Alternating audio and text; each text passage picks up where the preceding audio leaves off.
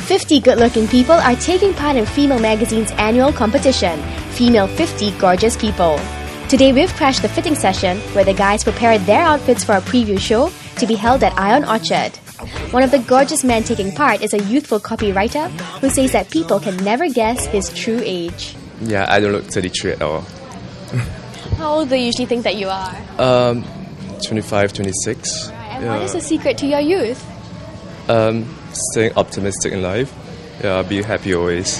Happy always? Well, we bet it's easy for gorgeous people to be happy all the time. Or is it? True or false? It's not easy being beautiful. True. Yeah. Mm, a lot of self-discipline. Mm, you have to be very particular about how you look, how you present yourself. Yeah.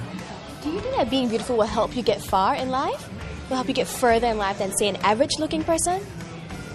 That is more like a perk.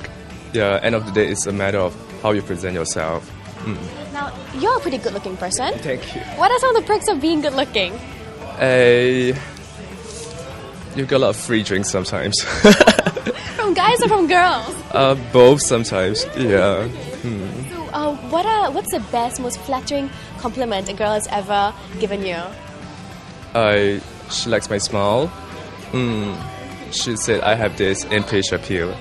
So what happened after that? Um, we're just friends. We still are friends.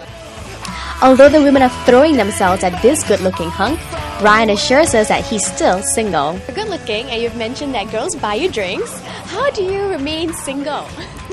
Um, Is it an effort? um, haven't met the right one. Mm, it's very much based on the chemistry. Yeah. So if you've got the hots for this contestant and you want to date him, Bryon says you must be genuine.